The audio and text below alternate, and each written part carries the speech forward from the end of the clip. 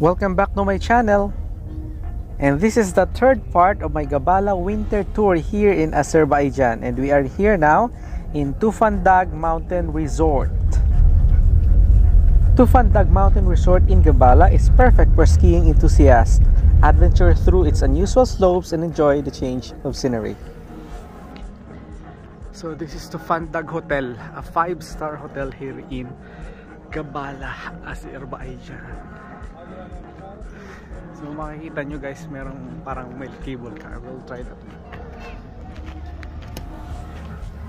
And look at that. Wow, punong-puno ng yellow guys. Punong-puno ng snow.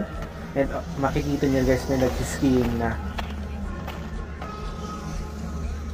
So guys, in order for you na ma-access o makita talaga yung ganda ng mountains dito, you need to ride a cable car. So, different price po yung sa adult and sa mga kids. So, uh, actually, there will be two stations. So, dito, from here, um, pupunta kami ng third station. And then, from third station, pupunta kami ng pinaka last station, which is the kung saan meron ding mga activities doon.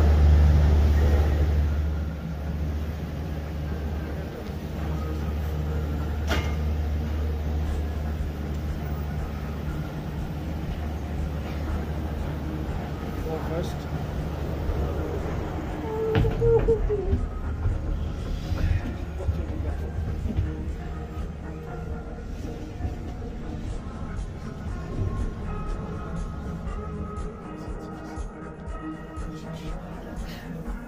As they say, uh, save the best for last.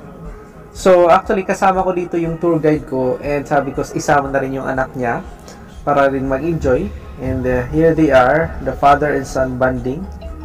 How nice. This video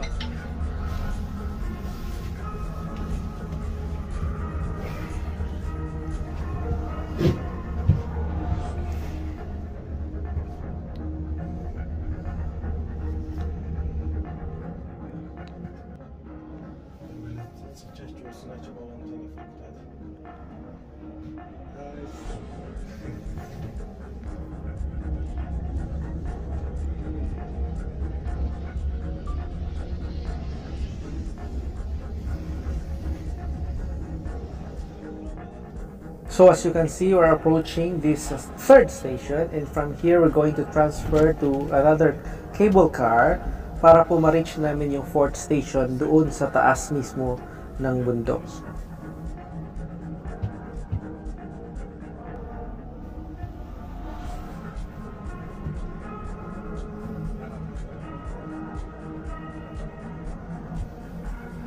So there are so much activities here guys from sledges, tubing, snowmobile, Kids tubing, mountain swing and viewpoint, ATV tours and trekking tours.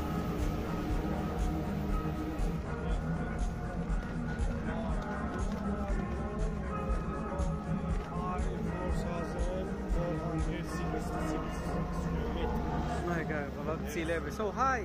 Yes, yes. Oh my, there you go. Gonna go up there.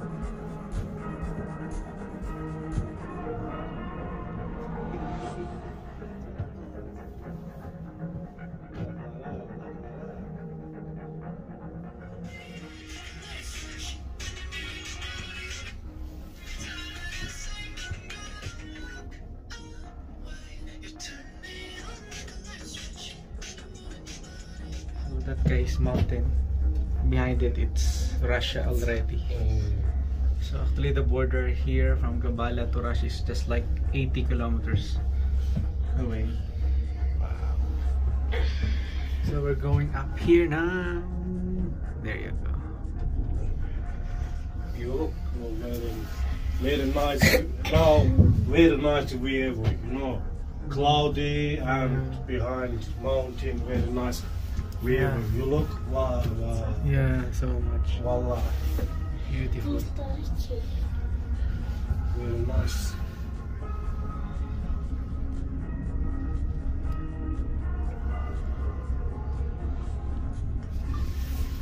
Okay, now we reach.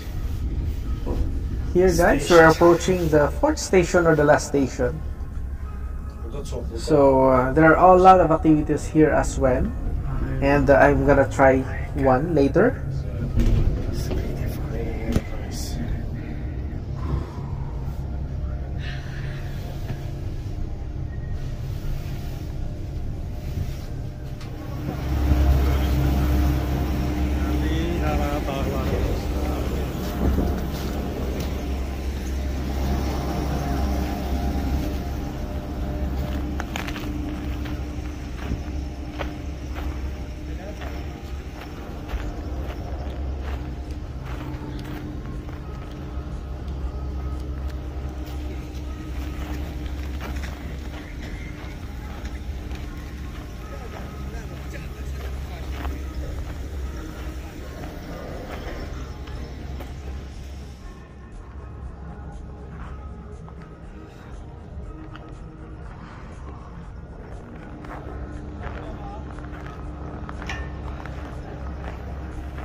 So as I said, uh, a lot of activities here and one of this activity is this sledding sa snow.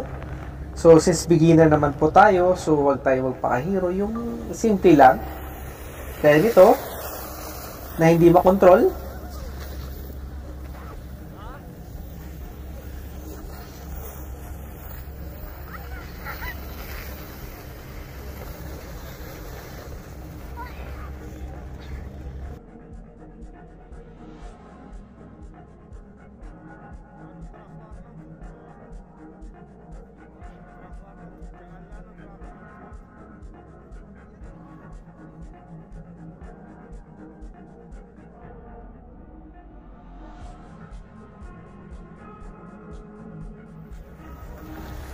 Well, talagang inulit-ulit itong sledding na to.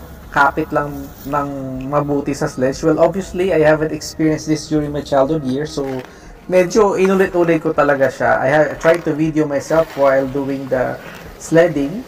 Eh, kaso, medyo mahirap. Kontrolin yun, napagulong-gulong sa yelo.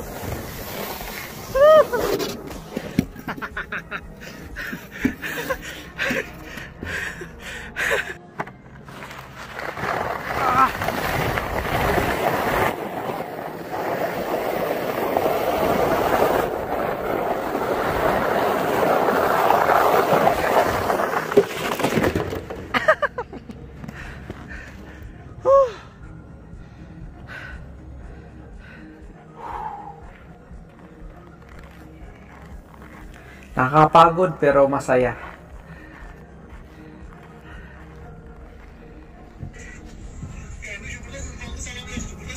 So that's it guys. That's the end of my Gabala winter tour here in Azerbaijan.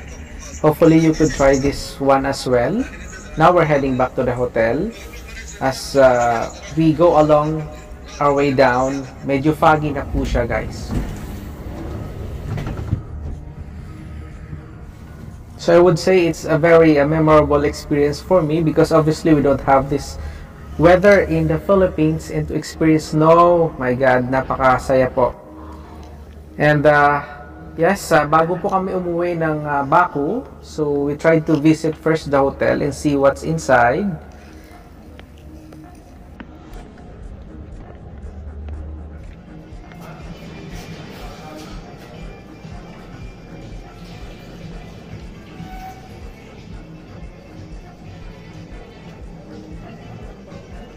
Restaurant. Uh, Mhm.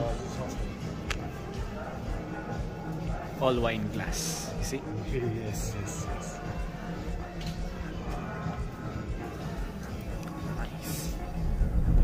So this is the end of my Gabala winter tour and we're heading back to Baku, Azerbaijan. 3 hours travel ulit. And I was very happy with this kind of a tour here in Azerbaijan. Along the way, I, ev- I even experienced snowfall. So thank you so much Azerbaijan, Musafir, and of course to my tour guide Elkin Prius. Hope to see you on my next video. Thank you.